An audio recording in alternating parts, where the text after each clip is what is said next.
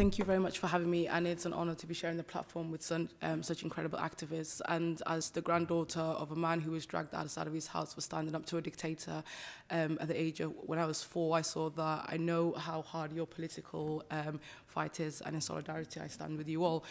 Um, I'm here, actually, it's quite ironic to be here at a human rights conference talking about female genital mutilation. Um, eight years ago, when I started the campaign to say that um, FGM was a form of violence against women and girls and we should be looking at it as a human rights violation, I was told to stop I was told to go away and think about it because it was an issue of development and not democracy. Um, the reality is that for 4,000 years, a silent um, gender genocide has been going on, and today, 2 million women, um, 200 million women are living with the consequence of FGM, and between now and 2030, another 70 million um, young girls are at risk of female genital mutilation. In a world where we strive for prosperity, there can never be true prosperity if the most vulnerable um, citizens within our societies are being subjected to such a horrific form um, of violence. I am really grateful to be here and I can really say that there is a tangible reality that we can end FGM. My own government within the United Kingdom has been very supportive. In 2013, we committed 30, um, 36 million to end FGM and last year we committed 50 million to end FGM. The work that I did with Daughters of Eve was essentially to change the narrative of how we speak about FGM.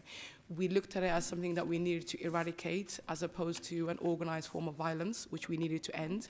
And um, now I'm on the bridge of starting a new organization called the Five, um, the Five Foundation, because ultimately only 2% of all global funding goes to women on the front line. And the work to end FGM is being led by African women who have been fighting for years and years. In, um, in the late 80s, um, Edna Adan, um, who is a, a, a Somaliland activist, went to the UN, Protested outside the UN to say that they need to take African women seriously. The FGM wasn't just something that happened because people didn't understand it was horrible and harmful. It was something that happened to keep women down. Um, 30 years on, I sit here as a survivor of FGM to say that we are still banging on those doors. We are still asking for the international community to trust African women to be the real agents of change. Um, it's easier for you to get access to end FGM if you're a white man from the West than if you are an African woman who's, who, who's fighting on the front of it. So um, as we talk about solidarity, I really want you to truly stand in solidarity with African women, African women who've led this campaign to the UN, African women who are are risking their lives on a day-to-day -day basis, who have been arrested in places like Mali, in Somalia, who have been um, raped because they want to speak out against FGM. And I want to say that um, progress is possible, but it's not inevitable. Things could slip back. 70 million girls could be felled by 2030. And I don't really want to be sitting here in 10 years' time and asking us to save another 70 million girls.